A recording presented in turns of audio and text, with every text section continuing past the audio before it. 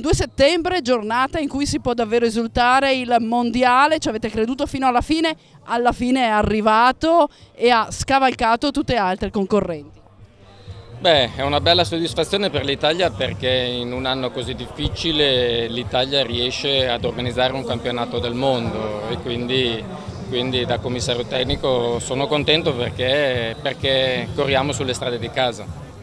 Che mondiale sarà? Purtroppo ovviamente per motivi di pandemia è stato ristretto alla strada e alla cronometro professionisti e donne. Che mondiale sarà? E soprattutto ricalcherà il tracciato di extra giro? Possiamo dire che erano le prove generali quelle di metà luglio?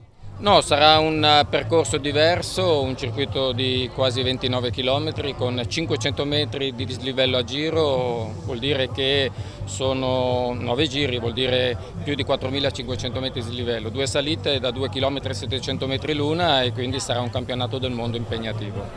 Come siete riusciti a sbaragliare la concorrenza? Quali carte avete giocato? Ma sai, io non è che mi sono mm, mosso in qualche maniera lì, è stato un lavoro da parte del Presidente della Regione e da parte del Presidente della Federazione Ciclistica Italiana. Io credo che abbia, abbia avuto successo il fatto che c'è una struttura che tra l'altro accoglie anche una Formula 1 da lì a qualche settimana, vuol dire che ci sono già strutture già, già fatte e, e, quindi credo che questa possa essere stata la, la, la, la soluzione vincente.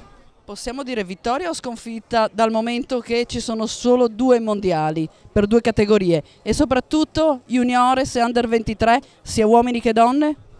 Purtroppo non, non, ci saranno le corse per Junior Under 23 ed è un vero peccato perché, perché, per loro sarebbe stato importante questo campionato del mondo, ma l'UCI ha cercato soprattutto di salvare uh, il, il, mondo professionistico e, e l'elite donne. Sai, poi uh, sono decisioni che arrivano dall'Unione Ciclistica Internazionale e quindi, e quindi non riesco a dare una risposta a questa domanda. Beh, potremmo dire che sarà il primo caso nella storia in cui un under 23, ovvero Battistella, vestirà la maglia per due anni anche solo virtualmente, visto che è passato professionista. Però sai, ehm, diversi anni fa, negli anni olimpici, non si disputava il campionato del mondo per dilettanti in quel caso e quindi per dire Giacomini, anche lui nel 79 indossò per due anni la maglia di campione del mondo.